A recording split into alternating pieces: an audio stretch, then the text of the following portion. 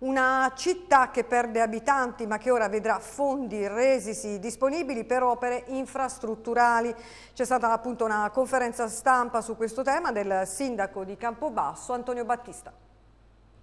Oltre 50 milioni di euro per la città di Campobasso, eh, Sindaco lei in conferenza stampa ha ricordato una serie di interventi ma soprattutto ha sottolineato la possibilità di un cambio di volto della città. Ma direi di sì, e intanto servizi che si sono completati e altri servizi, opere che eh, abbiamo messo all'impiedi. Io ne voglio elencare una parte di questi 50-55 milioni di euro. La tangenziale di, si, di cui si aspetta l'ultimazione da almeno 40 anni, la ultimazione del sottopasso ferroviario e di Giambattista Vico che sono 2 milioni di euro. Gli 11 milioni sulle scuole della città abbiamo già bandito il concorso di idee e contiamo di mettere la prima pietra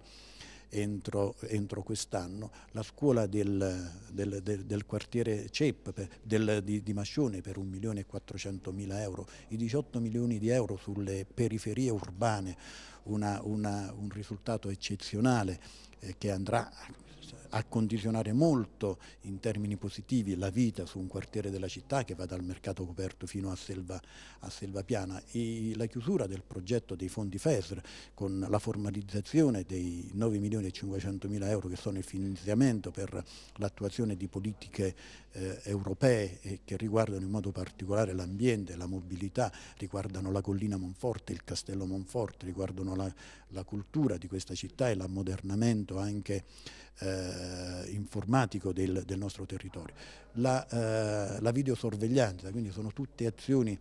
eh, che andremo a realizzare da qui al 31 di dicembre del 2018. Ecco, la domanda la, la, la, ripongo, c'è la preoccupazione di questo calo eh, di demografia che riguarda, lei stesso ha detto, tutta la regione, ma c'è questa preoccupazione? La preoccupazione c'è, eh, dobbiamo tentare di invertire il trend, in effetti dei risultati timidi ci sono, non si passa certamente rapidamente a, a 60.000 abitanti, ma eh, con le opere che realizziamo, il lavoro che cerchiamo di generare eh, sul territorio, intanto per il momento siamo risaliti sotto, sopra la quota dei 50.000 abitanti, anche se eh, di poco, e contiamo di, di avere maggiori risultati. Però guardi, il dato anagrafico è una cartina di tornasole eh, molto importante.